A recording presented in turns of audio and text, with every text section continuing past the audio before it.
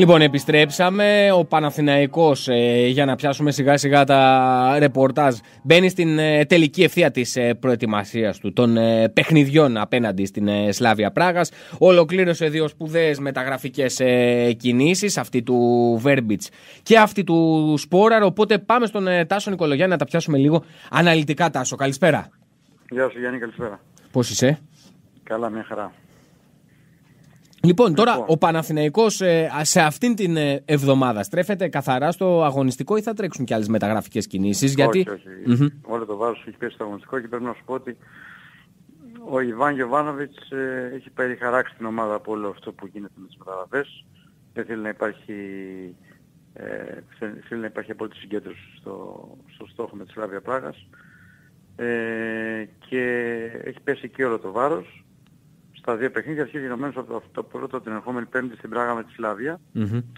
Η Σλάβια, η οποία αν δεν κάνω λάθος αύριο έχει μάσο πρωταθλήματος. Θα το δουν άνθρωποι του Παναγικού από κοντά. Το πρώτο μάσο πρωταθλήματος είναι αυτό. Έχει παίξει και άλλα δύο παιχνίδια με τη Σεν Ζόζεφ για, τα, για το προγραμματικό του Conference League. Έχει μια σαφή εικόνα ο Γιωβάνοβιτς από τη Σλάβια Πράγας. Ξέρει ακριβώς το πώς παίζει και θα κάνει τα τελικά του σχέδια ε, βλέποντας τη Δευτέρα Τρίτη ποιους παίκτες έχει στη διάθεσή του, ποιοι θα είναι διαθέσιμοι για να μπορεί να τους χρησιμοποιήσει. Μμμ. Έτσι. Πριν από λίγο έγινε η προπόνηση, μετά το, το χθεσινό ρεπό. Δεν ήταν σε ψηλού η ένταση η προπόνηση.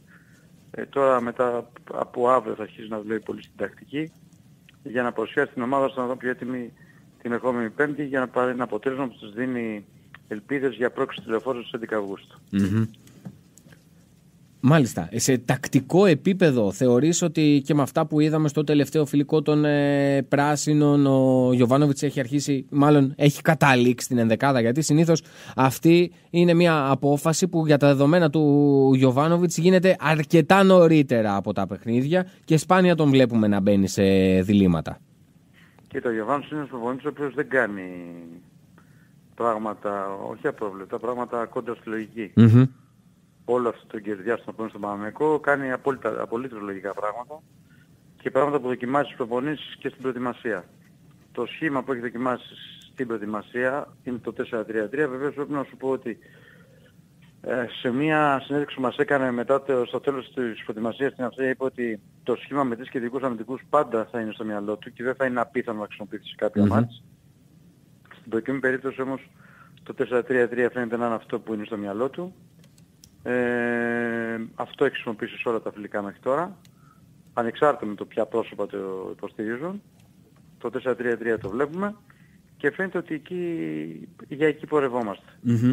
Σχετικά με τον ε, Αν Άιτορ... πες την άποψή μου, Ναι. ε, ας αφήσουμε ένα μικρό παράθυρο ανοιχτό να παίξουμε τις σχετικούς αμυντικούς, αλλά δεν το βλέπω σαν το πιο πιθανό σενάριο. Το πιο πιθανό να παίξουμε 4. 4-3-3. Ναι. Μμμ, μμμ. Είναι και η διάταξη που είναι και καλύτερα δοκιμασμένη η ομάδα, οπότε ενδεχομένως μα να, αυτή- να το έχει και αυτό στο μυαλό του. Και στα, ε, εντάξει, αν λάβουμε πώς όμως με το Βόλο και με τη Φόλεν δεν ήταν τόσο δυνατό τα φιλικά. Στα φιλικά που έπαιξε στην Αυστρία και ειδικά στο πολύ σπουδαίο φιλικό με τη Leverkusen που ήταν το πιο, κρα, το πιο δυνατό τεστ, Μμμ. ε, έπαιξε με 4-3-3 και ανταποκρίθηκε άψογα η ομάδα. Ναι, ναι. Ε, με Παλάσιος, ε, Αϊτόρ και Χουάνκαρ, η κατάστασή τους; Κοίτα, ε, Παλάσιος, Χουάνκαρ και, και Αϊτόρα έχουν ε, μία ίωση. Μμμ. Μάλλον θα την ξεπεράσουν και θα είναι διαθέσιμοι. Έτσι. Ε, θα μπορούμε να πούμε περισσότερα από εβδομάδα. Ναι. μμμ. Αλλά το πιο πιθανό είναι να την ξεπεράσουν. Έτσι. Εάν όλα είναι καλά θα παίξει ο Παλάσιος, ο Αϊτόρο ο Ιωαννίδης. Στα χάφ ο Ρούμπεν, ο, ο Τσέιν και ο Αλεξανδρόπουλος. Και πίσω η γνωστή τετράδα Ναι. με τον Μπρινιόλη τερματοφύλακα. Παραλαμβάνω όμως επειδή, επειδή με συλλαβούν αρκετές μέρες να περιμένουμε λίγο για τις επόμενες οπονές για να έχουμε μια σαφέστερη άποψη αλλά εγώ απλά σου είπα την εντεκάδα με όλους τους παίκτες μέσα ε, με όλους τους διαθέσιμους ποια είναι η εντεκάδα που φαίνεται ότι έχει ξεχωρίσει στα φιλικά και που έχει το προβάδισμα αν είναι όλοι διαθέσιμοι στο παιχνίδι με την, ε, με την Σλάβια την ερχόμενη Πέμπτη. Μμμ. Τώρα, Ε, σχετικά με τους ε, καινούριους στο πρόγραμμα των ε, Βέρμπιτς και Σπόραρ. Κοίτα, ο Σπόρα θα κάνει πιθανότατα αύριο την πρώτη προπόνηση. Μμμ. Ο Βέρμπιτς ε, έχει ένα μικρό τραυματισμό από το τελευταίο παιχνίδι στην Δυνάμω και εγώ με τη Φενέρ Μπαξέ και κάνει θεραπεία, αλλά έτσι κι αλλιώς ο Βέρμπιτς δεν έχει δικαίωμα. Σωστά. Ε, θα παίξει το πρώτο παιχνίδι στις 20 Αυγούστου το πρώτο μας του Αλήματος και αν ο Παναμαϊκός περάσει στους ομίλους του Conference League θα είναι Από τότε είναι διαθέσιμο, σωστά. Ακριβώς. Αυτό γιατί γίνεται, διότι έπαιξε τα δύο παιχνίδια mm-hmm. της Δυνάμω και με τη Φενέρμπαξε. Ήταν κάτι που το ζήτησε και η ίδια και η ομάδα. Ο Παναγικός δεν μπορούσε να μην το κάνει αυτό το αίτημα. Ε, και όπως δήλωσε ο Γιωβάνοβιτς μετά το παιχνίδι με τη Βόλεντα, ο Παναγικός δεν παίρνει παίκτες για 3-4 παιχνίδια, παίρνει παίκτες για 3-4 χρόνια και το δείχνει και με, τη, με τα συμβόλαια που έχει κάνει στον Σπόραρ και στον Βέρμπιτς. Ο Σπόραρ πιστεύω ότι μπορεί να είναι στην αποστολή στο πρώτο παιχνίδι. Δεν ξέρω αν θα παίξει. Δεν το βλέπω πολύ πιθανό. Και αν θα παίξει θα παίξει λίγο. Τον βλέπω πιο έτοιμο για τη ρεβανς Θα γίνει στη λεωφόρο στις 11 Αυγούστου. Γιατί όσο και, το, όσο και να το κάνουμε, ε, στη Sporting δεν έπαιξε τα φιλικά, ήταν υποπαραχώρηση, ξέρεις, δεν είναι παρά το γεγονός ότι ο ίδιος δηλώνει έτοιμος, εντάξει, δείχνει τη διάθεση να παίξει βασικά. Σωστά, σωστά. Δεν νομίζω ότι ο Γιωβάνοβιτς, επειδή ξέρουμε από Γιωβάνοβιτς θα, θα χρησιμοποιήσει στην ειδικά το αποκλείο να δούμε έστω και αν θα είναι για λίγο ε, στο παιχνίδι με την Σλάβια στην Πράγα. Ε, πιο έτοιμο τον βλέπω για τη ρεβάνς ε, στη λεωφόρο. Mm-hmm. το βλέπω. Ο Σπούρο ο οποίος μίλησε στο, στο PAO TV για, τις, ε, ε, για τη μεταγραφή του στον, στον Παναναϊκό, μίλησε για τον κόσμο του Παναναϊκού, είπε ότι ε, ποιες, στην ερώτηση που του έγινε ποιες ήταν οι πρώτες σκέψεις που έκανε όταν άκουσε το ενδιαφέρον του Παναναϊκού, το γήπεδο να πάλεται και να, α, να είναι πάντοτε γεμάτο από παδούς, είπε. Όσες φορές αντιμετώπισε η ελληνική ομάδα να τον δώσω ήταν τρελή, ο Παναναϊκός έχει τους καλύτερους οπαδούς και για να είμαι ειλικρινής ανυπομονώ γι' αυτό, να παίξει τηλεφόρο δηλαδή. Ε, αναφέρθηκε και στο γκολ. Ε, είναι το καλύτερο συναίσθημα όταν σκοράρεις. Είμαι εδώ γι' αυτό. Ο striker κρίνεται για τα γκολ, όπως βεβαίως και για την απόδοση και τις assist, αλλά το πιο σημαντικό είναι το γκολ. Θα κάνω το καλύτερο δυνατό, υπέγραψα για 4 χρόνια και είμαι βέβαιος ότι αργά ή γρήγορα θα βρεθώ σε πολύ καλή κατάσταση μερικές δηλώσεις επαναλαμβάνω του Σπόραρ στο PAO TV. Mm-hmm.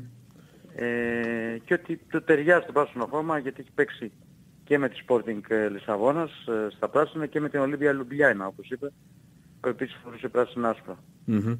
Ε, ε, ναι. Ε, εγώ ήθελα να σε ρωτήσω για τον Βιτίνιο γιατί έρχονται πολλά μηνύματα. Τι ισχύει για τη συγκεκριμένη περίπτωση; Για τον Βιτίνιο θα επιμείνω και θα λέω αυτό που ξέρω.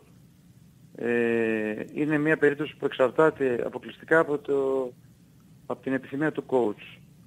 Εάν ο coach ανάψει το πράσινο φως, ο Παναμαϊκός θα τον αποκτήσει. Αυτή τη στιγμή δεν υπάρχει κάτι τέτοιο.